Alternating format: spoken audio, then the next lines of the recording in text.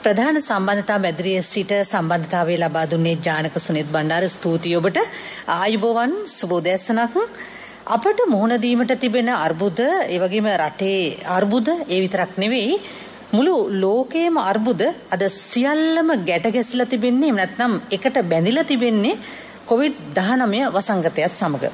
අපි හිතන පතන ක්‍රියා කරන මේ සෑම දෙයක්ම සකස් විය යුත්තේ එහෙම නැත්නම් වෙනස් විය යුත්තේත් මේ ලෝක වසංගත තත්වයක් සමග. මාධ්‍යයක් ලෙස මේ මොහොතේ ක්‍රියා කළ යුතු ආකාරය ගැනත් ඊයේ වෛද්‍ය ප්‍රසන්න ගුණසේන මහත්මයා අපේ සිතට දැනෙන වදන් පිළක් එකතු කළා. ඒ තමයි පෑනින් ලියන එක වචනයක් පවා කටින් කියන එක වචනයක් පවා අපි මේ මොහොතේ ලිවිය යුත්තේත් කිවිය යුත්තේත් මේ වසංගතයෙන් අපේ රට එහෙම නැත්නම් අපේ මිනිසුන් අපේ ජනතාව බේරා ගැනීම ගලවා ගැනීම අරමුණ ඇතිව බව. ඒ ජාතික මාධ්‍ය කාර්යභාරය අපි හිතට ගත්තා. අපි ක්‍රියාත්මක කළා. තවමත් ක්‍රියාත්මක කරමින් ඉන්නවා. ඒ උත්සාහයේ තවත් පියවරක් තමයි අද අපේ සුභාරතිය. අද අපි කතා බහ කරන්නේ කොවිඩ් අභියෝගය හමුවේ ජීවිතය ජය ගනිමු. අපි උත්සාහ කරනවා විවිධ පැතිකඩයන් ඔස්සේ අපේ සුභාරතී කතා බහ හරවත් කරන්නට. මුලින්ම අවධානය යොමු කරන්නට කැමති ඊයේ රජයේ ප්‍රවෘත්ති දෙපාර්තමේන්තුවේදී පැවති මාධ්‍ය හමුව දෙසට එන්නත් කරණය සහ ඉදිරියේදී රටට එන්නත් ගෙන්වීමට ඇති වැඩපිළිවෙල පිළිබඳව කතාබහක් එහිදී සිදු වුණා. රාජ්‍ය අමාත්‍ය මහාචාර්ය චන්න ජයසුමන මහත්මයාගෙන් මාධ්‍යවේදිකු ප්‍රශ්න කළා විශේෂයෙන්ම මේ දිනවල කතාබහට ලක්වන මේ දෙවන මාත්‍රාව ලබා ගැනීම පිළිබඳව ජනතාවට යම් ප්‍රශ්නයක් මතුවලා තියෙනවා කියලා කතාබහක් සමාජය තුළ තිබෙනවා. මෙන්න මේ සම්බන්ධයෙන් ගනු ලබන පියවර පිළිබඳව රාජ්‍ය අමාත්‍යතුමන් මෙන්න මේ ආකාරයට පිළිතුරු ලබා දුන්නා. දොළොස් ලක්ෂ හැට හතර දහක් තමයි අපිට කොවිශීල්ඩ එන්නත් ලැබුණේ ඒකින් අපි නම ලක්ෂ විසිපන් දහක් පමණ එන්නත් මේ වෙනකොට ලබා දීලා තියෙනවා. එතකොට අපි දන්නවා ලක්ෂ හයකට පමණ ආසන්න ප්‍රමාණයක් බලාපොරොත්තුවෙන් සිටිනවා ඇස්වසනික එන්නතේ දෙවනි මාත්‍රාව ලබා ගැනීම සඳහා. අප සීරම් ඉන්ස්ටිටියුට් ආයතනයත් එක්ක ගිවිසුම් ගත වෙලා තිබුණා මේ එන්නත් ලබා ගැනීම සඳහා උන් පොරොන්දු වෙලා තිබුණා අපිට එන්නත් ලබා දෙනවා කියලා. ඒ සඳහා උන් දින නියම කරලා තිබුණා මෙන්න මේ දිනවලට තමයි අපිට එන්නත් ලබා දෙන්නේ කියලා. ඒ අනුව තමයි අපි එන්නත් කරණය ඉදිරියට අරගෙන ගියේ විශේෂයෙන්ම පෙබරවාරි සහ මාර්තු මාසෙවල. නමුත් ඉන්දියාවේ පැන නැගුණු තත්ත්වයක් එක්ක අප ඇත්තටම තීරණය කරා ඇස්ට්‍රසෙනික එන්නත දොළොස් ලක්ෂ හැටතර දහම ලබාදීම සුදුසු නෑ.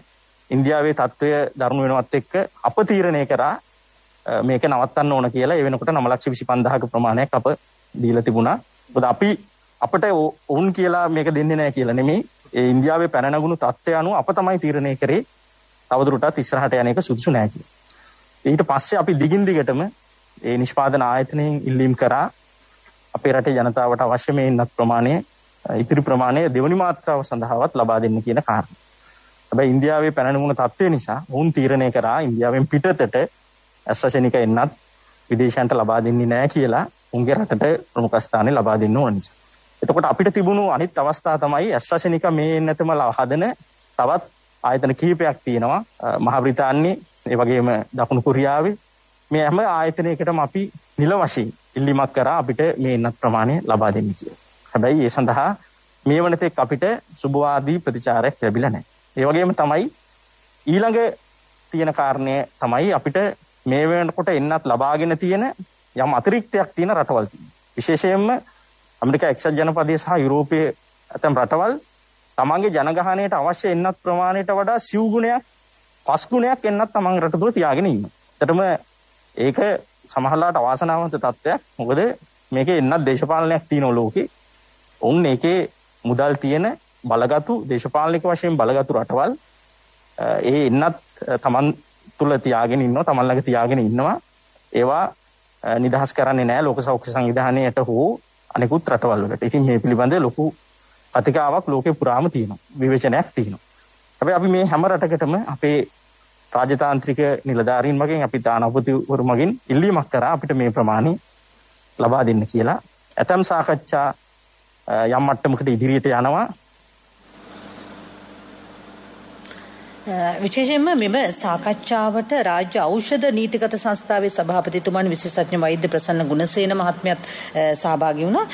එතුමා සඳහන් කළ විශේෂයෙන්ම එන්නත් ලබා ගැනීමෙන් පසු ඇතිවන තත්ත්වයන් පිළිබඳව විවිධ භයානක චිත්‍රයන් මැවීමට ඇතැම් අය සූදානමින් සිටිනවා ක්‍රියා කරනවා කියලා. ඒ පිළිබඳවත් අපි අවධානය යොමු කරලා අපි කතා බහට එළඹෙමු. ඒ එන්නතෙන් එන්න පුළුවන් ප්‍රශ්න ගැන කතා කරොත් එක එක එන්නත් වර්ග ගත්තාම ඒ ප්‍රශ්න වෙනස් වෙනවා. ඒවා අතරින් වැදගත්ම ප්‍රශ්නේ තියෙන්නේ මේකයි. වැදගත්ම ප්‍රශ්නේ තියෙන්නේ ඔබ මේ එන්නත හදන ඒ එන්නතක තියෙන රසායනික ද්‍රව්‍ය වලට අසාධනිකතාවයක් තියෙනවා නම් ඒ කියන්නේ ඇඟ ඒකට ප්‍රතික්‍රියා දක්වලා කියන අන්නාසිකයහම ඇඟ කසන්නේ. අන්න මේ වගේ අමාරුවක් එනවා නම් එතනදී ඔබ එන්නත ගන්න යනකොට ඔබ ඒ එන්නත ලබා දෙන කෙනාට දැනුවත් කරන්න ඕනේ ඔබට එවැනි ප්‍රශ්නයක් තියෙනවා. ඒ මේක තමයි වැදගත්ම කාරණා. වෙන ඔක්කොටම වඩා.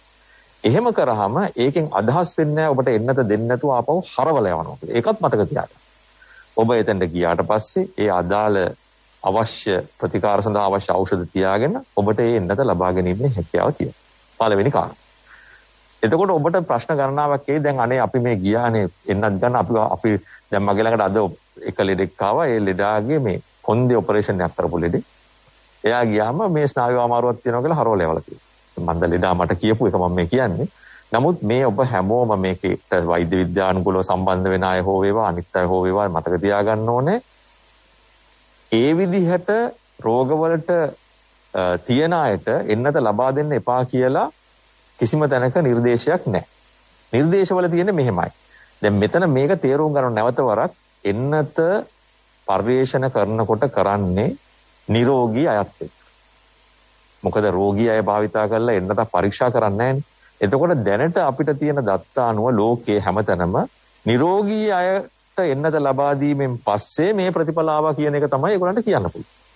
ඒක නිසා ඒගොල්ලන්ගේ ලේබල් වල තියෙනවා නිරෝගී නැති අයට දෙනවා නම් ඒ දත්ත ටික ආරක්ෂා කළා ඒ නිෂ්පාදන සමාගමට ලබා දෙන්න කියලා.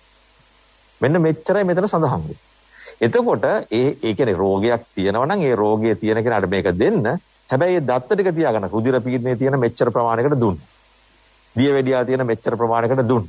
අංශ භාගයේ තියෙන මෙච්චර ප්‍රමාණයකට දුන්නා කියලා. එහෙම තියෙනවා නම් ඒ දත්ත ටික අරගෙන ආපහු දෙන්න කියනවා මිසක් කිසිම ස්ථානයක කියලා නැහැ මේක දෙන්න එපා කියලා. හැබැයි ඇතැම් රටවල් ඒ රටවලට අදාළ වූ නියාමනයන් යොදාගෙන තියෙනවා. විශේෂයෙන්ම දැන් ඇස්ට්‍රාසෙනිකා වගේ එන්නතක් යුරෝපයේ තරුණ අයට දෙන්නේ නැහැ. ඒකට ඒගොල්ලන්ට සාධාරණ වෙච්ච හේතු තියෙනවා. නමුත් එංගලන්තය ගත්තොත් ඊට වැඩිය වෙනස් ප්‍රතිපත්තියක්. එතන ඒ වගේ අපේ රටට ආවේනික ප්‍රශ්නයක් තියෙනවා නම් අපගේ වසංගත රෝග විශේෂඥාංශය සහ අපේ තියෙනවා College of Physicians කියලා ඒ අය නිර්දේශයක් දෙයි මෙන්න මේ තත්ත්වයන් යටතේ මේ එන්නත ලබා ගන්න එපා කියලා. දැන්ට මේ වෙනකල් නම් එහෙම නිර්දේශයක් දීලා නැහැ. ඒක නිසා ඔබ මේක අහන් ඉන්න ඔබ ඕනෑම කෙනෙක් මේ එන්නත ලබා ගැනීමේ බලාපොරොත්තුවක් තියෙනවා නම් ඔබට එන්නත ලබා ගැනීමේ හැකියාවක් තියෙනවා. හැබැයි ඔබේ තියෙන ප්‍රශ්නයක් තියෙනවා නම් ඒ එතන ඉන්න වෛද්‍යවරු ඉන්න එයාත් එක්ක සාකච්ඡා කරලා එන්නත ලබා ගන්න. අද අපි සුභාරතීන් විශේෂයෙන්ම කොවිඩ් අභියෝග හමුවේ ජීවිතයේ ජය ගැනීම පිළිබඳව කතා බහ කරනවා මොනවද අපිට තියෙන වැඩපිළිවෙළ සහ අපි ක්‍රියාත්මක විය යුත්තේ කෙසේද යන්න පිළිබඳව අවධානයට යොමු කරනවා තව බොහෝ දෙනෙක් අපි සූදානමින් සිටිනවා අදාළ කරුණු කාරණා පිළිබඳව කතා බහ කරන්න සම්බන්ධ කරගන්නට. ඒ වගේම මේ ප්‍රවෘත්ති සාකච්ඡාව තුළ තවත් වටිනා වූ කරුණු කාරණා ඉදිරිපත් වුණා. ඒ පිළිබඳවත් අවස්ථාව ලැබෙන ආකාරයට කතා බහ කරමු. අද අපේ මැදිරියෙත් ඉන්නවා වෛද්‍යවරයෙක්. ඔහු කොතලාවල ආරක්ෂක විශ්වවිද්‍යාල රෝහලේ අෂ්ටි ශල්‍ය විශේෂඥ වෛද්‍ය දේවක රත්නපාල මහත්මයා. ආයිබෝන් වෛද්‍යතුමනි. ආයිබෝන් සුබ උදාසනක්.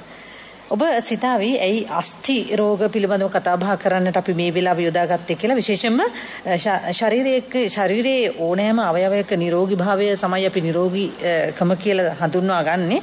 ඒ නිසාම විශේෂයෙන්ම මේ කොවිඩ් අභියෝගයත් එක්කම මේ අස්ථි සම්බන්ධයෙන් මොනවද තියෙන කරුණුකාරණා විශේෂ මේවැනි රෝග රෝගීන්ට අස්ථි රෝග වලින් පෙළෙන රෝගීන්ට මේ එන්නත්කරණය පිළිබඳව තියෙන ගැටලු යම් ආකාරයක තියෙනවා නම් මොනවද ඒ ගැටලු සහ ඒවා විසඳාගත යුත්තේ කෙසේද කියන එක පිළිබඳවත් කතා බහ කරන්න බලාපොරොත්තු වෙනවා.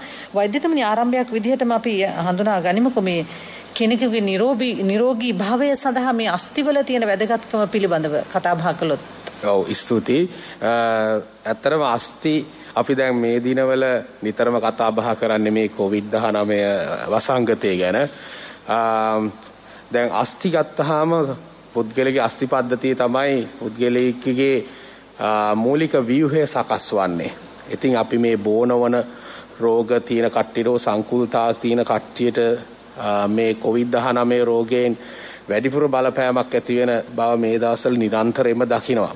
ඉතින් ඒ සම්බන්ධව ගත්තහම අස්ති පද්ධතියත් සහ සන්දි කියන ඒවත් අපි නිරෝගීව තබා ගැනීම ඊ타ත්ම වැදගත්. මෙතන ඊ타ත්ම වැදගත් කාරණය වන්නේ ඇත්තටම මං හිතන්නේ වැඩිහිටි සහ මහලු කට් උදවියට තමයි මේ අස්ති රෝග සම්බන්ධ විශේෂ අවධානයක් යොමු කරන්න වෙන්නේ මේ මේ වකවානුවේ. නිරෝගී අස්ති පද්ධතියක් ඇත්තටම පවත්වා ගන්න අවශ්‍යතාවය වන්නේ හොඳ සමබර ආහාර වේලක් ඒ කියන්නේ ප්‍රෝටීන සමග තවත් කැල්සියම් සහ විටමින් D කියන පදාර්ථ අඩංගු වන විදියේ ආහාර වේලක් මූලිකව පදනම් කරගෙන තමයි අපිට නිරෝගිමත් අස්ති පද්ධතියක් ලැබෙන්නේ. ඒ අතරතුරම අපි ක්‍රියාශීලී වෙන්න ඕනේ. ක්‍රියාශීලී වෙනකොටත් අස්තිවල තියෙන ශක්තිමත් භාවය වැඩි වෙනවා. ඒක හන්දි වලටත් ඒ විදිය තත්වයක්මයි තියෙන්නේ. ඒ අතරතුර අපි දන්න ඔස්ටියෝපොරෝසිස් කියලා තත්වයක් තියෙනවා. මේ තත්වය ඇවිල්ලා අස්තිවල තියෙන ඝනත්වය අඩුවීම. මේක ගොඩක් වෙලාවට බලපාන්නේ වයස්ගත කාන්තාවන්ට සහ යම් ප්‍රතිශතයක පිරිමි පුද්ගලයන්ට. එතකොට දැන් අස්ති සෞඛ්‍ය ගැන බලපුවාම මං කිය විදිහ හොඳ හොඳ ආහාර පුරුදු සහ කැල්සියම් විටමින් D අඩංගු ආහාරත් ගැනීමත් ක්‍රියාශීලී වීමත් ඉතාමත්ම වැදගත්. තව වැදගත් කාරණයක් තමයි දුම්පානය සහ මධ්‍යසාර වගේ දේවලුත් අස්තිවල තියෙන සවිශක්තිභාවයට බලපාන්න පුළුවන්. විශේෂයෙන්ම දුම්පානය මං හිතන්නේ මේ වකවානුවේ මේ ස්වසන රෝගයක් වන නිසා මේ කොවිඩ් 19 අපි දුම්පානයෙන් වැළකී සිටීම අඩුම ගානේ මේ වකවානුවේ අපිට ඉමහත් අස්වැසිල්ලක් වෙනවා මේ රෝගය වැළඳුනත් අපිට එයින් සංකූලතා ඇති නොවි බේරීමට අපි මේ හුඟක් වෙලාට දුම්පානය වගේ දේවල් නතර කරන්න ඕනේ. අස්ථි වලටත් දුම්පානය බලපාන ඔස්ටියෝපොරොසිස් කියන තත්ත්වෙ වැඩි වෙන්න පුළුවන්. ඒකයි අපි දැන් මේ ලොක්ඩවුන් තත්ත්වයක් තියෙද්දී ක්‍රියාශීලී වීම සෑහෙන දුරට අඩු වෙලා තියෙනවා. මම හුඟක් වෙලාවට දකිනවා දැන් කොළඹ මම ප්‍රදේශයේ ඉන්නේ. අද උදෑසනත් මම මේ මැදිරියට එනකොට මෙහි ටිකක් වැස්ස තිබුණා. නමුත් පුද්ගලයෝ නිතර ව්‍යායාම කරන කට්ටිය පාරේ ඇවිදිනවා. තොප්පියක් දාගෙන. ඒ කියන්නේ ඒගොල්ලෝ අපිට ඕනෑකම තියෙනවා නම් අපිට එතන දුරස්ථභාවයේ තියාගෙන උදේට හවසට දිනපතා හෝ සතියට යම් දින ගණනක් ප්‍රායෝගික වෙන විදිහට මේ දවස්වල ටික ප්‍රශ්න තියෙන නිසා ව්‍යායාම කිරීමේ හැකියාව තියෙන්න ඕනේ. එහෙම කරපුවාම අපේ අස්ථි පද්ධතියත් නිරෝගී වෙනවා. සමස්ත සෞඛ්‍යයටත් එය යහපත් වෙනවා. ඒ අතරතුර අපේ මානසිකව අපි දැන් ගෙදරකට ඇතුළට වෙලා හැමලේම මේ කොවිඩ් සම්බන්ධ ප්‍රවෘත්ති බලනවා ඒවැය තියෙන නරක දේවල් දකින්නේ මුළු ලෝකෙම දේශීය පුවතක් බැලුවත් එහෙමයි විදේශීය පුවතක් බැලුව කාට හරි කතා කරත් කතා කරන්නේ කොවිඩ් ගැන. ඉතින් ඒක මානසිකව හොඳ නැහැ. මං හිතන්නේ අපි කවුරුත් ටිකක් හවසට මිදුලට ගියත් ඒක ලොකු මානසික සහනයක්. ඒ නිසා අපි හොඳට පුළුවන් හැම වෙලාවකම gedara මිදුලේ හෝ චුට්ටක් ආරක්ෂා සහිතව එලිමහනට බැහැලා කායික ව්‍යායාමයක යෙදෙන්න පුළුවන් නම් සුළු වෙලා අඩුම ගානේ පැය භාගයක්වත් එය මේ අස්ථි රෝග වලින් මිදීමටත් වර්තමානයේ තියෙන කොවිඩ් තත්ත්වයෙන් මිදීමටත් මානසික සුවයටත් ඊ타ත්ම යහපත් වෙනවා. අපි කෙටි විරාමයක් ගන්නටයි දැන් සූදානම් වනේ. ඉන්න අනතුරු අපි තවදුරටත් බොහෝ කරුණු කාරණා කතා බහ කරන්නට පෙළ ගස්වාගෙන තිබෙනවා. රාජ්‍ය ඔසුසලෙන් මෙන්න ඔබට සුහද සත්කාරයක්. පවතින කොයිඩ් වසංගතත්වයේ හේතුවෙන් ඔබගේ බෙහෙත් වට්ටෝරුව ඔබගේ නිවසටම. ඔබගේ බෙහෙත් වට්ටෝරුවේ පැහැදිලි ඡායාරූපයක් දුරකථන අංකය සහ ලිපිනය සමග ඔසුසලට WhatsApp කරන්න. ඔබට ආසන්නම ඔසුසල සොයා ගන්න. පිවිසෙන්න www.spc.lk. ඔබ කුරුණෑගල නම් 070යි 171යි 83යි 18. ඔබ පේරාදෙනී නම් 070යි 190යි 27යි 39. රාජ්‍ය ඖෂධ නීතිගත සංස්ථාව ඔබේ සුවසෙත අපේ පැතුමයි. අපි නැවතත් සුභාරතී සංවාද මණ්ඩපයේ සමග සම්බන්ධ වෙනවා. වෛද්‍යතුමනි දැන් මේ දිනවල අන් කවරදාටත් වඩා අපි නිරෝගී භාවය පිළිබඳව කතා බහ කරනවා. අපි දන්නවා නිරෝගී භාවය තමයි උතුම්ම සැපත කියලා අපි අහලා තිබුණත් වෙනදටත් වඩා අපි සිතන්නට පෙළඹිලා තිබෙනවා.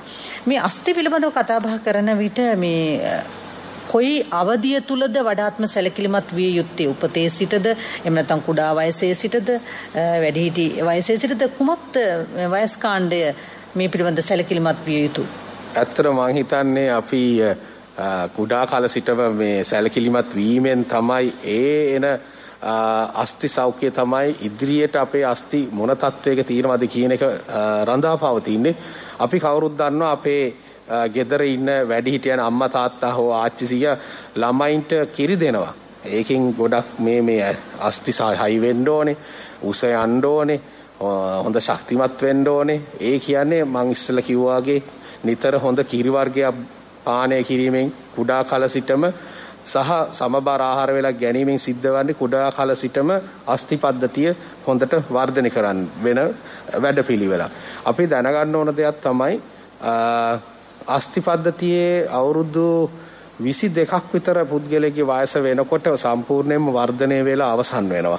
එතකොට ඒ අස්තියේ තියෙන ඒ පදාර්ථ සහ මිනරල්ස් ඩිපොසිට් තැන්පත් වීම තීරණය වෙලා තියෙන්නේ අපේ කුඩා කල සිට වැඩිවිය බවට පත්වන ඒ අවුරුදු 22 වගේ කාලයේදී. ඊට පසු අපේ ක්‍රමක්‍රමයෙන් ඒ අස්ති දුර්වල වීමේ පැත්තට තමයි විශේෂයෙන්ම අවුරුදු 50ක් වගේ වයස ගියාම සිද්ධ වෙන්නේ. ඉතින් අපි කුඩා කල සහ තරුණ වියේදී ඒ අපේ ආහාරත් මම කිව් විතර ව්‍යායාමත් ඒ වගේම දුම්පානය වගේ දේවල් අවම කරගෙන ජීවත් වීමෙන් තමයි අපිට හොඳ අස්ති පද්ධතියක් පවත්වාගෙන ගිහිල්ලා වැඩිහිටි වයස වෙනකොට ඒක ඒ සංකූලතා අවම කරගන්න පුළුවන් වෙන්නේ. දැන් විශේෂයෙන්ම කියන්න ඕන දෙයක් තමයි අපි හිතුවොත් ඔස්ටියෝපොරොසිස් වගේ තත්ත්වයක් මේ දවස්වල කවුරු හරි වයස්ගත පුද්ගලයෙක් වැටුනොත් හුඟක් වෙලාට උකුල් අස්තේ අස්තිය බිඳීම කොඳුවත් කොඳු පෙළේ අස්තිය බිඳීම එතකොට අතේ මැණික් කටුවේ ඒකට කියන්නේ මේ කොලස් ෆ්‍රැක්චර් කියලා වගේ අස්තිය බිඳීලා ඇතිවෙන සංකූලතා බහුලව අපිට දකිට ලැබෙනවා. ඉතින් අපි දන්නා මේ දවස්වල රෝහලකට යන්න ඉතාමත්ම අපි කියන්නේ අම අපහසු වෙන වෙලාවල් තියෙනවා. බොහෝ රජයේ රෝහල් සහ පෞද්ගලික රෝහල් හදිසි ප්‍රතිකාර තාමත් උපරිම මට්ටමින් කරන්න සෑහෙන උත්සාහයක් දන්නවා. නමුත් ජනතාවත් බයයි සමහර රෝහලකට යන්න. ඉතින් එහෙම ඇත්තටම බිය යුතු නැහැ. නමුත් ප්‍රායෝගිකව ගත්තොත් අපිට ඒ වගේ අස්ති බිඳීමක් සිද්ධ වුණොත් ශල්‍ය කර්ම වලට යොමු වෙන්න සිද්ධ වෙනවා. එතකොට අපිට ගෙදරින් බැහැරව ඉන්න රෝහලක ඉන්න සිද්ධ වෙනවා. ඉතින් මේ වගේ වකවානු වලදී අපිට ඇත්තටම තේරෙනවා මොනතරම් වැදගත්ද කියලා සෞඛ්‍යමත් අස්ති පද්ධතියක් අපි පවත්වාගෙන ආවා නම් ඒ වගේ වැටීමක් හෝ අනතුරක් හෝ සිද්ධ වෙන වෙලාවකට අපිට අස්තිය බිඳියෙන් නැතුව වගේ ඉන්න පුළුවන් වුණා නම් කොච්චර හොඳද කියලා අපිට හිතෙනවා. ඒ නිසා ප්‍රශ්නය නැගූ පරිදි අපි හොඳින් අස්ති සම්බන්ධව සෞඛ්‍යම ගැන මං කිව්ව කරුණු කාරණාත් එක්ක සැලකිලිමත් වීම ඊ타මත්ම වැදගත්. වෛද්‍යතුමනි දැන් මේ දිනවල මේ එන්නත් කරණයත් එක්ක කතා බහ කළොත් එහෙම මේ අස්ති රෝගියෙකුට එන්නත් කරණය පිළිබඳ යම් ගැටලුවක් මතුවුණොත් යම් ආකාර දිගු කාලීන අස්ති රෝගයකින් ඔහු පෙළෙනවා නම් එන්නත් ලබා කොරෝනා සම්බන්ධයෙන් පවතින එන්නත් ලබා ගැනීම ඔහුට නිර්දේශ කරනවද? මොකක්ද ඒ සම්බන්ධයෙන් දෙන්න තියෙන උපදෙස්? ඇත්තටම මේ එන්නත් බටහිර රටවල් වල දුන්නේ මුලදීන් වැඩිහිටිය අයට. එතකොට ඒ කට්ටියට ඒ උදවියට ඇත්තටම ඔස්ටියෝපොරොසිස් කියන තත්ත්වෙ එහෙම තියෙනවා. එතකොට මම මේ කියන්න හදන්නේ අස්ථි සංකුලතා හෝ ඒ සම්බන්ධව තියෙන ප්‍රශ්න කිසිසේත්ම බලපාන්නේ එන්නතක් නොලබා සිටීමට. එන්නතක් ලබා ගන්න අස්ති සංකූලතා කිසි විටක බල පවත්වන්නේ නැහැ කියන එක මම විශේෂයෙන්ම කියන්න ඕනේ. මං හිතන්නේ අපි සුදු මොහොතකට ඉස්සෙල්ලා අපි ඖෂධ නීතිගත සංස්ථාවේ ප්‍රසන්න ගුණසේන මහත්මයා සභාපතිතුමා කිව්වා එන්නතක් ගැහිීමට තියෙන එකම ප්‍රශ්නය වන්නේ එන්නතේ එන්නතකට යම් සංකූලතාවයක් ඇලර්ජි එකක් වෙනවා නම් පමණයි. ඒ නිසා කිසිම විටක අස්ති සංකූලතාවයක් එහෙම තියෙනවා කියලා එන්නතක් ගැනීමෙන් වැළකී සිටින්න එපා. මේ අවස්ථාවේ විවිධ මිත්‍යා මත හෝ විවිධ පුද්ගලයන් කියන දේවල් වලට අනවශ්‍ය බියක් ඇති කරගෙන එන්නත ලබා ගැනීම අවස්ථාව ලැබුණොත් එයින් වැළකී නොසිට එන්නත ලබා ගන්න ලෙස තමයි මම කාර්නිකව දන්වා සිටින්නේ. එවැනි ප්‍රශ්න ඔබට නැගුණාද? ඔබෙන් යම් කිසි කෙනෙක් හෝ විමසීමක් කරාද ඔබ අස්ථි රෝග පිළිබඳව විශේෂ වෛද්‍යවරයෙක් නිසා මම අහන්නේ පිළිබඳව. ඔව් ඇත්තටම මට දැන් ගොඩාක් ඒ වගේ ප්‍රශ්න එනවා.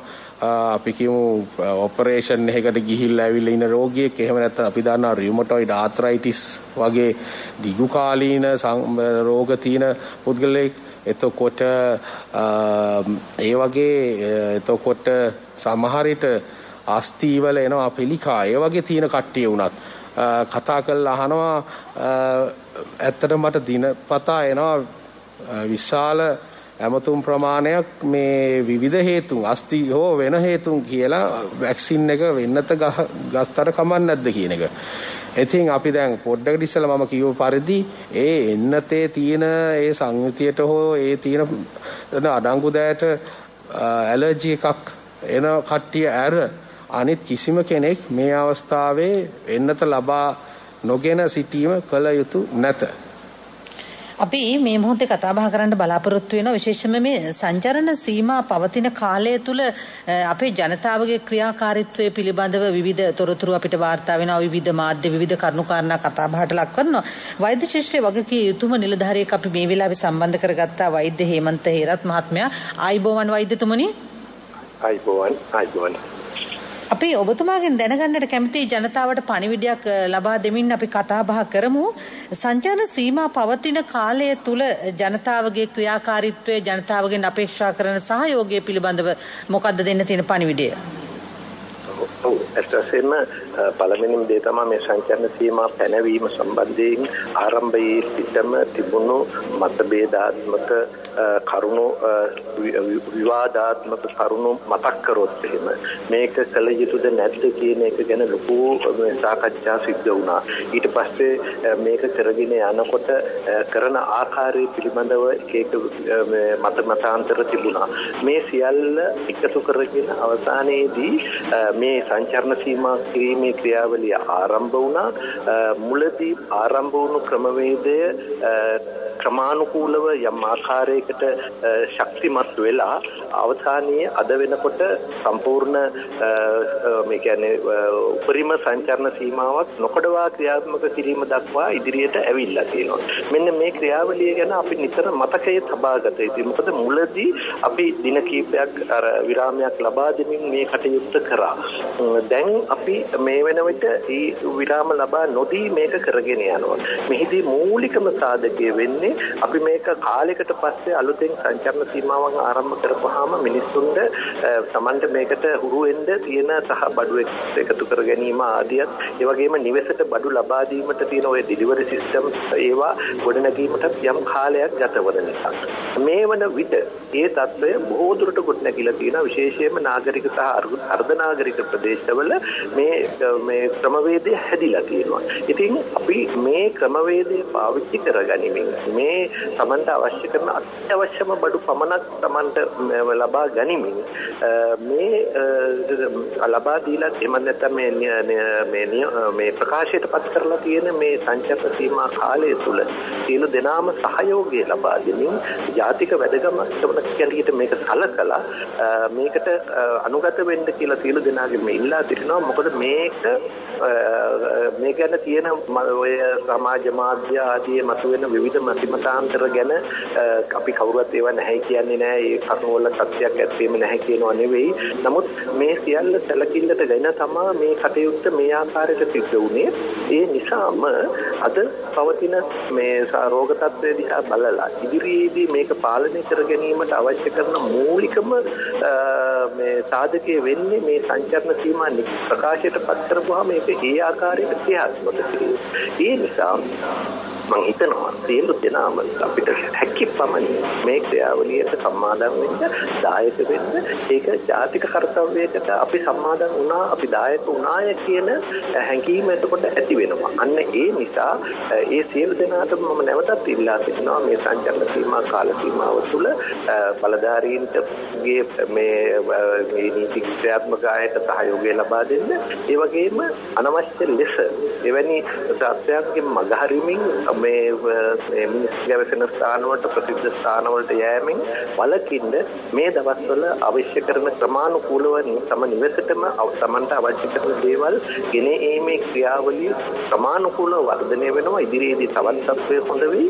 ඒ නිසා ඒ සැලකිල්ලට අරගෙන ඒ සහයෝගය ලබා දෙන්න කියලා මම ඉල්ලා සිටිනවා. බොහොම ස්තුතියි ඔබතුමාට වෛද්‍ය හේමන්ත හේරත් මහත්මයා අපේ සුභාරතී සංවාද මණ්ඩපයට එකතුනේ.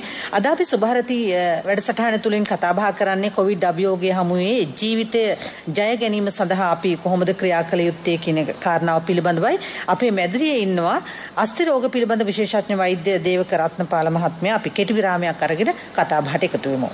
රාජ්‍ය ඔසුසලින් මෙන්න ඔබට සුහද සත්කාරයක්. පවතින කොයිඩ් වසංගතත්වයේ හේතුවෙන් ඔබගේ බෙහෙත් වට්ටෝරුව ඔබගේ නිවසටම. ඔබගේ බෙහෙත් වට්ටෝරුවේ පැහැදිලි ඡායාරූපයක් දුරකථන අංකය සහ ලිපිනය සමග ඔසුසලට WhatsApp කරන්න. ඔබට ආසන්නම ඔසුසල සොයාගන්න. පිවිසෙන්න www.spc.lk.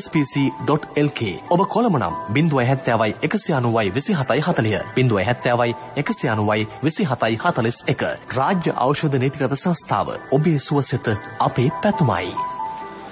අපේ ස්වදේශී සේවා තරංගමාලා 91.7 91.9 ඔස්සේ ඔබට පුළුවන් මේ වැඩසටහන ශ්‍රවණය කරන්නට අද අපි කතා කරනවා කොවිඩ් අභියෝග හමුවේ ජීවිතය ජය ගන්න ආකාරය පිළිබඳව මඟ පෙන්වීමක් ඔබව දැනුම්මත් කිරීමක් කරන්නටයි අපි සූදානම් වන්නේ. අපේ මැදිරියේ සිටින දේවක රත්නපාල වෛද්‍යතුමාගෙන් මම අහන්නට කැමති විටමින් D පිළිබඳව ඔබතුමා මතක් කරන්නේ මේ අස්ථි පිළිබඳව කතා බහ කරනකොට. හැබැයි අපිට මේ කොරෝනා වසංගතයත් එක්කත් ඒ පිළිබඳව වැඩි කතා බහකට ලක් වුණා මේ විටමින් D සම්බන්ධයෙන්. මොකද්ද මේ මේ තියෙන සම්බන්ධය? ඔව් ඇත්තටම යම් පර්යේෂණ වලින් මෑත කාලයකදී හොයාගන්න ලැබිලා තියෙනවා විටමින් D සහ සින්ක් කියන පදාර්ථ දෙකෙන් දැන් අපි දන්නවා කොවිඩ් රෝගයේදී උඟක් වෙලාට උත්සන්න වීමක් සහ මිය යාමක් සිද්ධ වන්නේ ඒ රෝ වෛරසයට වඩා ඒ වෛරසයෙන් ඇතිවෙන ඉන්ෆ්ලමේෂන් ඒ කියන්නේ අධි ප්‍රතික්‍රියා තත්ත්වය නිසා ඒක සිද්ධ වුණාම ඇඟ අපේ ශරීරය විශාල වශයෙන් මේ වෛරස් සංඛ්‍යාව මැඩලන්න ප්‍රතික්‍රියා කරනවා. එතකොට ඒ ප්‍රතික්‍රියා කිරීමෙන් තමයි මේ සංකූලතා ඇති වෙලා ගොඩක් විදියට ප්‍රශ්න ඇති වෙන්නේ.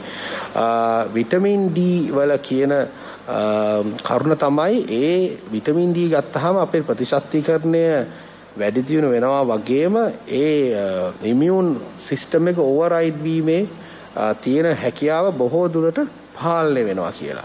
එතකොට ඒක සින්ක් කියන පදාර්ථයත් එක්ක සම්බන්ධ වන්නේ එතකොට අපේ ආහාරවල හුඟක් ඒවා සින්ක් කියන ඒවා තියෙනවා. දැන් මේ දවස්වල සමහර විට අපේ යම් නිර්දේශ තියෙනවා දවසට විටමින් D යුනිට් 2000ක් වගේ ගත්තට කමක් නැහැ කියලා. මොකද ගොඩක් මිනිසුන් ඉන්නේ ගෙවල් ඇතුළෙත් මේ දවස්වල එළියට යන්නත් අමාරුයි. එතකොට ඒකෙන් මේ කොවිඩ් රෝගය ලැබිලා එන සංකුලතා අවම කර ගැනීමට සෑහෙන ඉවහලක් වෙනවා කියලා පර්යේෂණ මගින් පෙන්නලා තියෙනවා. ඒ නිසා අපි විටමින් D කියන පදාර්ථය કૃත්‍රිමව ගත්තත් මේ කාලේ ප්‍රශ්නයක් නැති තත්ත්වයක් තමයි අපිට දැනගන්න ලැබෙන්නේ. වෛද්‍යතුමනි මේ දිනවල මේ කතා බහට ලක් වෙනවනේ වැඩි වශයෙන් මේ එන්නත්කරණය පිළිබඳව. ඊයේ පැවති මාධ්‍ය හමුවේදී රාජ්‍ය අමාත්‍ය චන්න ජයසුමන මහාචාර්යතුමන් සඳහන් කළා මේ ඇතමුන් ප්‍රශ්න කරනවනේ පෞද්ගලික ආයතන හරහා මේ එන්නත් මිලදී ගැනීමක් කරන්නට පුළුවන්ද? එහෙමනම් ඒ සඳහා රජය මැදිහත් වී තිබෙනවද? මැදිහත් වීමට බලාපොරොත්තු වෙනවද? මේ කරුණු කාරණා පිළිබඳව ඒ හඬ අවදි කළ ආකාරය පිළිබඳවත් අපි මේ මොහොතේ සිහිපත් කරලම කතා බහට එළඹෙමු. තවත් පාර්ශව කිහිපයක් ඉදිරිපත් වුණා. පෞද්ගලික සමාගම් සතුව තියෙනවා එන්නත් ඩුබායි වල තියෙනවා. අබුඩාබි වල තියෙනවා. සාජ වල තියෙනවා. කැනඩාවේ තියෙනවා, ප්‍රංශේ තියෙනවා, ඕස්ට්‍රේලියාවේ තියෙනවා අපිට ගේන්න පුළුවන් කියලා ඉදිරිපත් වුණා. ශ්‍රී ලාංකීය සමාගම් කිව්වා උන්ගේ තුන්වන නියෝජිතය හැටියට අතරමැදියෙක් හැටියට කටයුතු කරමු අපිට මේක කරන්න පුළුවන් කියලා. ඒකට අපි ඒකටත් අවස්ථාව දුන්නා. අපි කැබිනට් මණ්ඩලය දැනුවත් කරලා රාජ්‍ය ඖෂධ නීතික සංස්ථාව හරහා අපි ඔවුන්ගේ ලියකියවිලි ගෙන්නගෙන බැලුවා. හැබැයි අපිට අනිවාර්යයෙන්ම සාධකයක් තියෙන්න ඕන, තහවුරු කිරීමක් තියෙන්න ඕන මේ දෙන එන්නත් මව් සමාගමේ නිෂ්පාදනම කියලා. ඒ වගේම මේ ශීතකරණ දාමය ඒ ආකාරයටම ආරක්ෂා කරපු මේ එන්නත් වල ප්‍රමිතිය පිළිබඳ අපිට තහවුරු කිරීමක් කරන්න. එතකොට එහෙම කියලා අපි යම් යම් ලියකියවිලි ඉල්ලුවම ඇතැම් සමාගම් එතනින් එහාට කටයුතු කරේ නැහැ. සමහර සමාගම් ගැන හොයලා බැලුවම තුනී ලෑලි වෙළඳාම් කරන අය. තව සමහර අය කන්ටේනර් බිස්නස් කරන අය. සමහර අය නැව් විදාකාරයේ ප්‍රවාහන පහසුකම් සපයන අය. ඔවුන් මේ ලෝකයේ තුල අද අලු වෙළඳ පොලක් තියෙනවා එන්නත් සඳහා. ඒ වගේම තමයි එන්නත් විදිහට පේන ස්වරූපෙන් සමාන ව්‍යාජ එන්නත් නිෂ්පාදනය කරනවා. එතකොට අපිට රජයක් හැටියට වගේ යුතු රජයක් හැටියට බෑ මෙන්න මෙතන එන්නත් තියෙනවා. මේ ගානට දෙන්නම් කිව්වම ආ දෙන්න කියලා අරන් ඇවිල්ලා ගහන්න බෑ.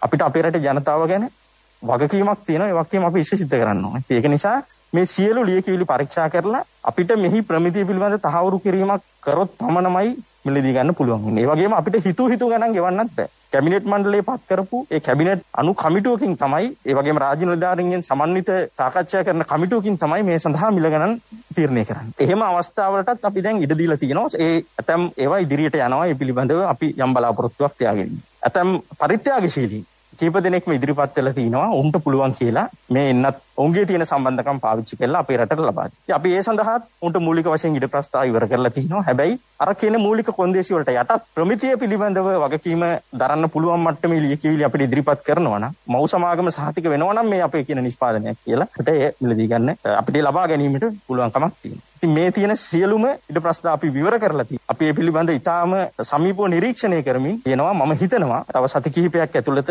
හොඳ ප්‍රතිචාරයක් ලැබෙයි කියලා AstraZeneca එන්නත දෙවනි මාත්‍රාව ලබා දීම සඳහා අපිට අවස්ථාව ලැබෙයි කියන බලාපොරොත්තුවෙන් තමයි අප කටයුතු කරන්නේ. ලෝක සෞඛ්‍ය සංවිධානයේ මැයි මාසයේ 26 වෙනිදා නිකුත් කරපු විශේෂ තාක්ෂණික පත්‍රිකාවක් මගින් පවසනවා. AstraZeneca එන්නතේ පළවෙනි මාත්‍රාව ලබා ගත්තට මාස 6ක් වෙනකන් ඇඟ තුල ඒ නිර්මාණය වෙච්ච ප්‍රතිදේහය තියෙනවා. නැවත එන්නත්කරණය කිරීමෙන් ඒ පළවෙනි එන්නතේ ගත්ත බලය නැවත වැඩි කිරීමේ හැකියාව මාස 6ක් දක්වා තියෙනවා. ඒක නිසා ආරම්භයේදී මේක සති 4 කිව්වා ඊට පස්සේ 8 වුණා 12 කිව්වා දැන් ලෝක සෞඛ්‍ය සංවිධානයේ නිර්දේශයේ මාස 6ක් වෙනකන් වුණත් ඉන්න පුළුවන් කියන කාරණා. ඒක නිසා ජනතාවගෙන් අපි ඉල්ලා සිටිනවා අනවශ්‍ය කුපිත කිරීම වලට කලබල කිරීම වලට අහු වෙන්න එපා. අපි ඔබට අවශ්‍ය එන්නත ලබා දීම සඳහා අපේ හැකි උපරිම ශක්ති ප්‍රමාණයෙන් කටයුතු කරනවා. අපි බලාපොරොත්තු වෙන මේ කටයුත්ත සාර්ථක වෙයි කියලා ඉදිරි සති කිහිපයක කාලෙක. විශේෂයෙන්ම මේ දිනවල මේ ගෝලීය වසංගත තත්ත්වය පිළිබඳව ලැබෙන තොරතුරු අපිට මේ බෙදා හදා ගන්නට බැරි තරම් විශේෂයෙන්ම ඇතැම් විට විවිධ මාධ්‍ය විවිධ තොරතුරු වාර්තා කරනවා. අපි නිවසට වී සිටින ඔබ මේ සියලු දේවල් බලනවා, නරඹනවා, කියවනවා. එයින් තෝරා බේරාගෙන කොහොමද මේ තොරතුරු නිවැරදි දේවල් අවබෝධ කරගන්නේ කියන කාරණාවත් අපි කතා බහ කරන්නට ඕන. මේ වෙලාවේ අපි සම්බන්ධ කරගන්න උත්සාහ කරනවා විශේෂයෙන්ම මේ අපේ රට තුල ඖෂධ නිෂ්පාදනයක් පිළිබඳව කතා බහක් මේ දිනවල යන නිසාම රාජ්‍ය ඖෂධ නිෂ්පාදන සංස්ථාවේ සභාපති වෛද්‍ය උත්පල ඉන්ද්‍රවංශ මහත්මයා අපි සම්බන්ධ කරගෙන ඉන්නවා. ආයිබෝවන් වෛද්‍යතුමනි. ආයිබෝවන්.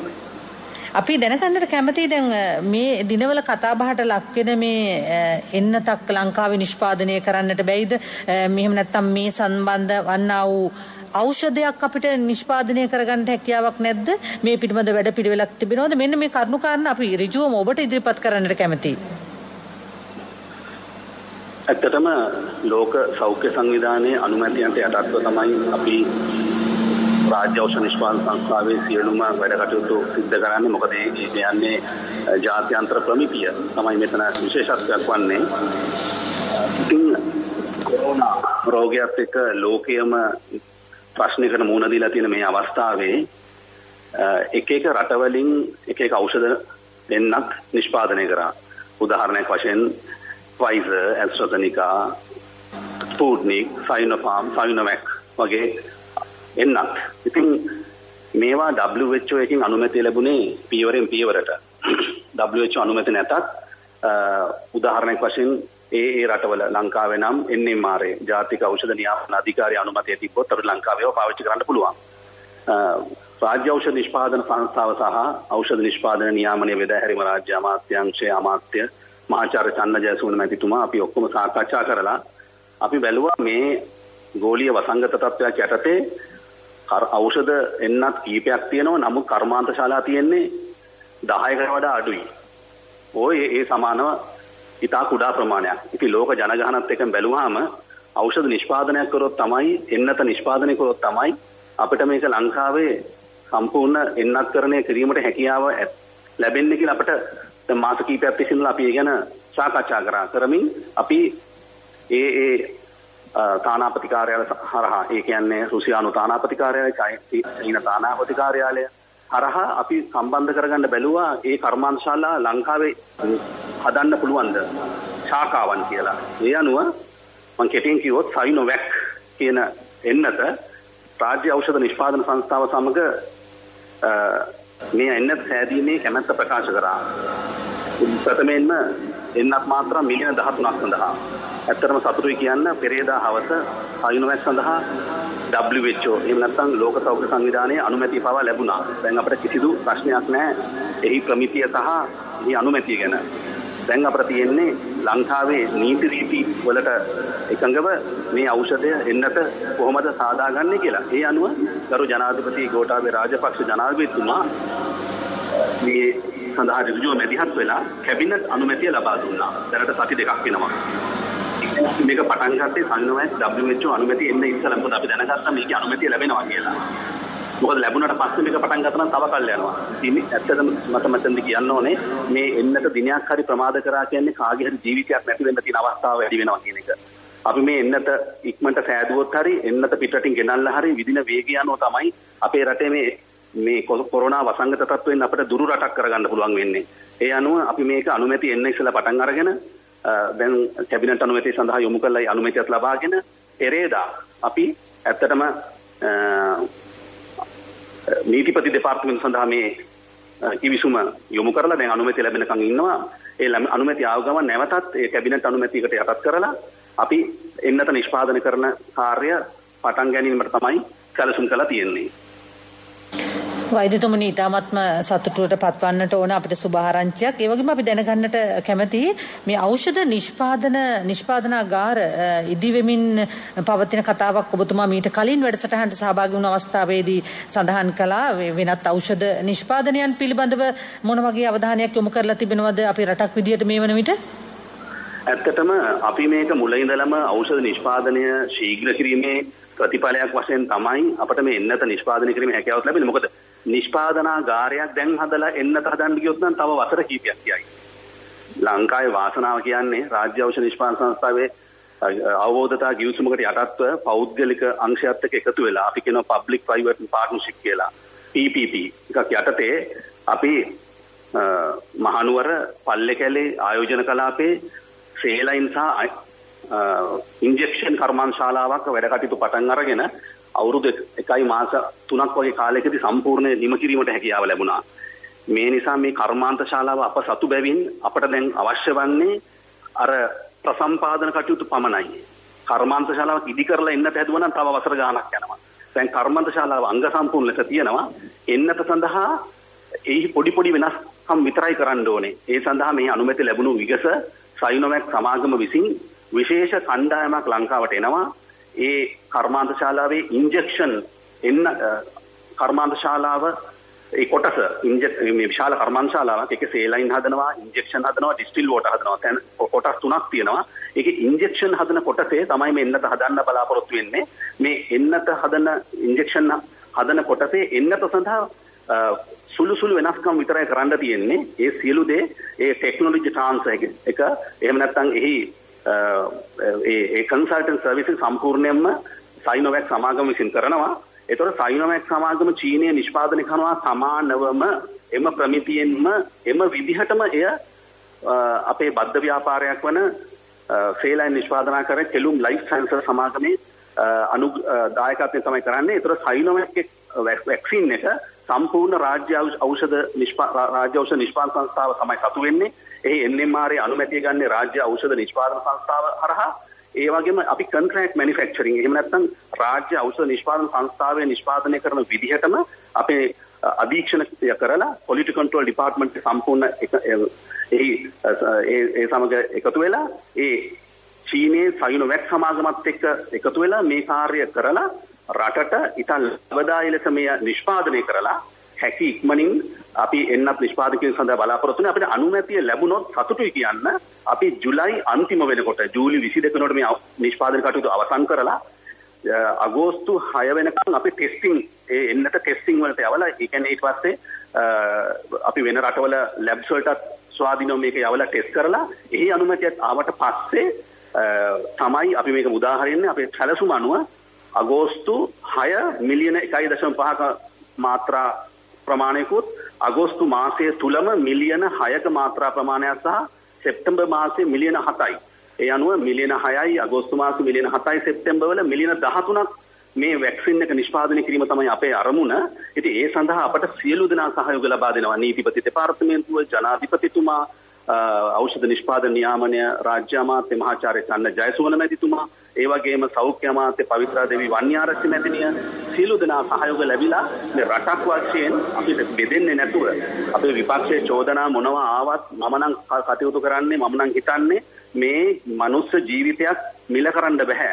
අපි ඉක්මනින්ම මේ වැක්සින් එක හදලා එක පැත්තකින් එහෙම නැත්නම් ආනයනය කරලා මගේ අරමුණ හැකි ඉක්මනින් මහජනතාව වෙත මේක ලබා දීලා මේ රෝගය මේ රටෙන් තුරන් කරලා අපේ බලන්න දවසකට කී දෙනෙක් මැරෙනවද කියලා ඒ ප්‍රමාණය අඩු කරලා රෝගය හැදෙන එක අඩු කරලා මේ රට ඇරලා මේ රට සංවර්ධනය කරා යන්න නිරෝගිමත් රට තමයි අපේ ප්‍රධාන අරමුණ. බොහොම ස්තුතියි වෛද්‍ය උත්පල ඉන්ද්‍රවංශ මහත්මයායි අප සමග සම්බන්ධ වුණේ. අපි ඊ타මත්ම අභිමාණයෙන් කියන්නට ඕන ශ්‍රී ලාංකේය ජාතිය වැටෙනවටත් වඩා වැඩි වේගයෙන් නැගිටීමට සමත් ජාතියක්. ඒ නිසා මේ සිතුම් පැතුම් සියල්ලම සාර්ථක වෙලා අපිට මේ කොරෝනා උදර මර්ධනය කරගන්නට මේ වසංගතයෙන් ගැලවෙන්නට අවකාශය ලැබේවයි කියලාත් අපි ප්‍රාර්ථනා කරනවා. කෙටි විරාමයක් ගන්නවා. ඉන් අනතුරුව අපි නැවතත් කතා බහට එකතු වෙනවා. රාජ්‍ය ඔසුසලින් මෙන්න ඔබට සුහද සත්කාරයක්. පවතින කොයින් වසංගතත්වය හේතුවෙන් ඔබගේ බෙහෙත් වට්ටෝරුව ඔබගේ නිවසටම. ඔබගේ බෙහෙත් වට්ටෝරුවේ පැහැදිලි ඡායාරූපයක් දුරකථන අංකය සහ ලිපිනය සමග ඔසුසලට WhatsApp කරන්න. ඔබට ආසන්නම ඔසුසල සොයාගන්න. පිවිසෙන්න www.spc.lk. ඔබ කුරුණෑගල නම් 070යි 171යි 83යි 18. ඔබ පේරාදෙණිය නම් 070යි 190යි 27යි 39. රාජ්‍ය ඖෂධ නීතිගත සංස්ථාව ඔබේ සුවසෙත අපේ පැතුමයි. අද අපේ මාතෘකාව කොවිඩ් අභියෝගය හමුවේ ජීවිතය ජයගනිමු. එහෙමනම් කෙසේද එවැනි ආකාරයේ ජයග්‍රාහී මාවතකට අපි ආයුත්තේ කියන කරුණු කාරණායි අපි ගොනු කරමින් පවතින්නේ. අපේ මැදිරියේ ඉන්නේ විශේෂඥ වෛද්‍ය දේවක රත්නපාල මහත්මයා. බොහෝ තොරතුරු දැන කියා ගන්නට ඔබතුමාටත් අවස්ථාව ලැබුණා. වෛද්‍යතුමනි වෛද්‍ය උත්පල ඉන්ද්‍රවංශ මහත්මයා සඳහන් කළ කාරණාවත් එක්ක මම කැමති යම් පිවිසීමක් ගන්නට. ඔබේ විශේෂ ශ්‍රේෂ්ඨය ඒ කරුණ අදාළ නොවුනත් පොදුවේ වෛද්‍යවරයෙක් විදිහට ඔබතුමාට ඊටම සතුටු වන්නට පුළුවන්. අපේ රටේ වෛද්‍ය ශාස්ත්‍රයේ මෙවන විට විවිධ පියවරයන් අනුගමනය කරමින් පවතිනවා. රටත් ජාතියත් ගලවගෙන මේ ගමන තුල කොහොමද අපි ශක්තිමත්ව නැගී සිටිය යුත්තේ කියන කාරණාව ඉස්මතු කරන්නට වෛද්‍යවරයෙක් විදිහට මොකක්ද අපිට දෙන්න තියෙන පණිවිඩය මේ සම්බන්ධයෙන්? ඔව් මං හිතන්නේ අපේ රාජ්‍ය ඖෂධ නිෂ්පාදන සංස්ථාවේ සභාපතිතුමා වෛද්‍ය උත්පල ඉන්ද්‍රවංශ මහතා ප්‍රකාශ කළ පරිදි මේ සයිනොවැක් කියන එන්නත ලංකාවේ නිෂ්පාදනය කරන්න ලැබුණොත් ඒක මං හිතන්නේ අපි ලබා ගන්නා විශාලම ජයග්‍රහණයක් වෙනවා. එන්නතක් නිෂ්පාදනය කරන එක පහසු වැඩක් නෙමෙයි. ලොකු කැපවීමක් අවශ්‍යයි. ඒ කාර්ය මණ්ඩලෙන් සහ ඒ තියෙන ඕන පහසුකම්. ඉතින් අභියෝග රාශියක් ජයගෙන තමයි එතුමා ඇතුළු කණ්ඩායම අපේ ජනාධිපතිතුමාත් වෛද්‍ය ප්‍රසන්න ගුණසේන මහත්මයාගේත් සහයෝගය ඇතුව සහ අනිකුත් ශේෂ්ත්‍රයේ ඉන්න පුද්ගලයන්ගේ සහයත් චීන රජ සහයත් ඇතුව ඒ ක්‍රියාදාමය කරන්න සූදානම් වෙන්නේ. අනිත් එක තමයි මට හිතෙන්නේ අපේ දේශීය අවශ්‍යතාවයන් වලට එන්නත සෑහීමකට පත් වුණොත් අපිට ඒ අපනායනය කරන්නත් අපේ අසල් වාසීන්ට හෝ වෙන රටකට හෝ මැද පෙරදිගට හෝ අපනායනය කරන්නත් අවස්ථාවක් ලැබෙන්න ඉඩ තියෙනවා. මම හිතන්නේ මිලියන ගාණක් මාසෙට එන්නත් නිෂ්පාදනය කරනවා. ඉතින් එතකොටත් ඇත්තටම මේ වෙලාවේ අපිට ඖෂධ අපනායනය කරන රටක් හෝ එනතක් අපනායනය කරන රටක් බවට පත් වෙන්න ලැබීමත් ලොකු කීර්තියක් ලැබෙන අපිට ගෝලීව. දැනට අපිට සිද්ධ වෙන්නේ බෙහෙත් රාශියක් අපි පිටරටවල් වලින් ගේනවා. එතකොට සමහර ඒ ගේන්න ඖෂධවල අපට තත්ත්ව පරීක්ෂා කරන්න සිද්ධ වෙනවා. ඉතින් රාජ්‍ය ඖෂධ නීතිගත සංස්ථාව විශේෂයෙන් ඒ සම්බන්ධ විශේෂ සැලකිල්ලක් දක්වලා ඒවයි තත්ත්ව පරීක්ෂා කරලා සුදුසු බෙහෙත් මේ රටට ගෙන්වන්නේ. නමුත් අපේ අතිගරු ජනාධිපතිතුමා මම හිතන සංකල්පයක් අනුව පුළුවන් තරමක් දේශීයව ඖෂධ නිෂ්පාදනය කිරීමට තියෙන වැඩපිළිවෙලත් එක්ක යන ගමනක් මං හිතන්නේ මේ එන්නත එහෙම නිෂ්පාදනය කිරීම ඉතින් හා වෙනත් දැන් සේලයින් අපිට දැනගන්න තියෙනවා උත්පලීන්ද්‍ර වංශ මහත්මයා පැවසු පරිදි සේලයින් නිෂ්පාදනය කරන්න පටන් අරන් තිනවා. සේලයින් කියන්නේ රෝහලක දිනපතා දහස් ගානකින් පාවිච්චි වෙන ඉතාමත්ම වැදගත් ඖෂධයක්. ඉතින් ඒවත් අපි විශාල ප්‍රමාණ වලින් පිටරට වලින් ගෙනාවා. මම හිතන්නේ තා මාස කිහිපයකින් ඒ වැඩ කටයුතුත් ඒ අනුමැති ලැබුණාට පස්සේ සේලයින් මේ රටම නිෂ්පාදනය කරලා අපේ ජනතාවට ලැබෙන්න සලස්වයි විශාල විදේශ විනිමයකුත් ඉතුරු වෙනවා සහ අපි දන්නවා අපේ නිෂ්පාදනාගාරවල යම් ඖෂධයක් සේලයින් වැක්සින් එකක් හදනකොට අපි ඒකට වක් කියන්න ඕනේ. එතකොට ඒවයි තියෙන තත්ත්වයේ ක්වොලිටි එක සම්බන්ධව අපට හොඳ අදහසක් තියෙනවා. අපි දන්නවා කොහෙන් දෙන්නේ කියලා. අපේ රටේ මේ ඉතින් ඒක හරි වැදගත් වෙනවා ඒ සම්බන්ධනොත්. ඉතින් මං හිතන්නේ ඊ타ත්ම හොඳ ප්‍රවණතාවයක් මේ වර්තමානයේ අපේ දේශීයව අපට අවශ්‍ය ඖෂධ සහ මේ වැක්සින් එක හදාගන්න පුළුවන් වීම ඊටාම ලොකු ජයග්‍රහණයක් කියලා මම දකිනවා.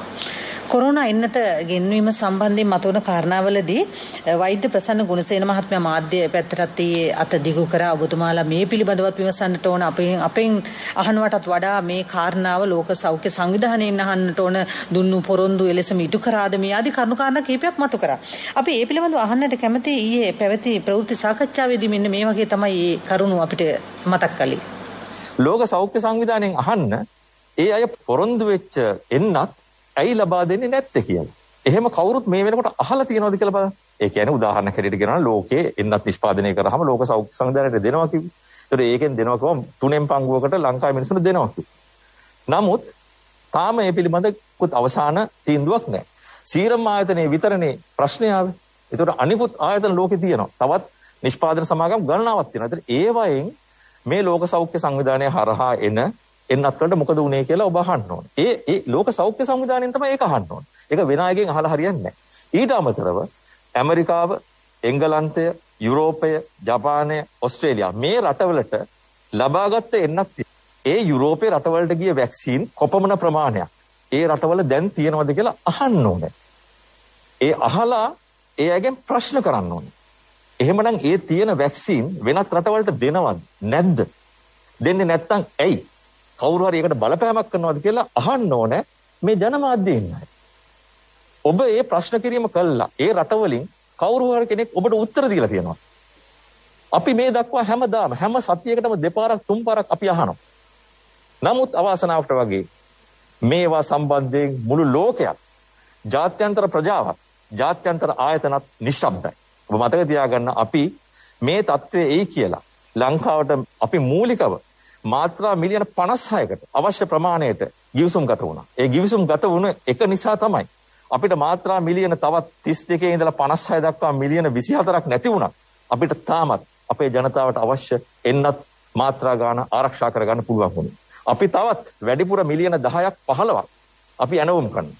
අපි ඇනවුම් කරන්නේ හේතුව නිසා. මොකද යම්කිසි වෙලාවක මේ අපිට දෙන ආයතන ඒ එන්නත් නතර කරොත් අපිට මිනිස්සුන්ට කියන්න පුළුවන් අපි ඒක නතර වුණාට කමන්නේ අපිට තවත් ආයතන තියෙනවා එන්නත් ගේන්න කියලා. මේ බරපතල රාජකාරියේදී ඔබගේ සහාය නැත්තම් අපිට මේක කරන්න බෑ. මේ විශ්ව කර්මය නෙවෙයි. ඔබ තේරුම් ගන්න ඕනේ. මෙතන වීරයොත් නෑ, දුෂ්ටයොත් නෑ මෙතන. මෙතන තියෙන විද්‍යාවක්, මෙතන තියෙන ලෝක වසංගතයක්. මේ ලෝක වසංගතයේදී ඔබේ පෑනෙන් ලියන එක අකුරක්, ඔබේ කටින් පිට වෙන එක වචනයක්, ඔබ අතින් පයින් කරන එකම දායකත්වයක් අපේ රටට අවශ්‍යයි. ඒ රටට දෙන දායකත්වයත් එක්ක තමයි මම හිතන්නේ අපිට ඉස්සරහට යන්න පුළුවන් වෙන්නේ.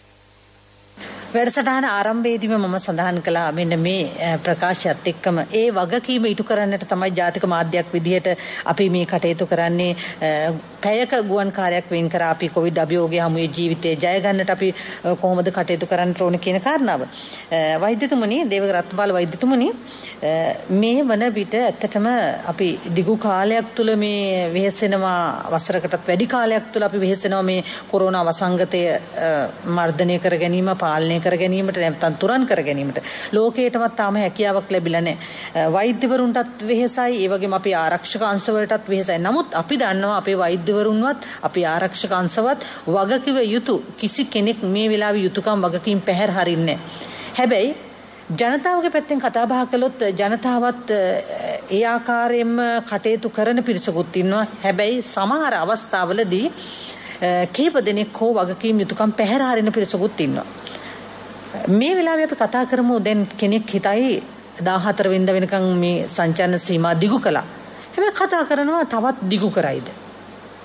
එහෙම නැත්නම් 14 වෙනිදාගේ මේවා ලිහිල් කරයිද? මේ වගකීම පැවරෙන්නේ අපිටමයි ජනතාවටමයි පණිවිඩයක් ලබා දෙමු.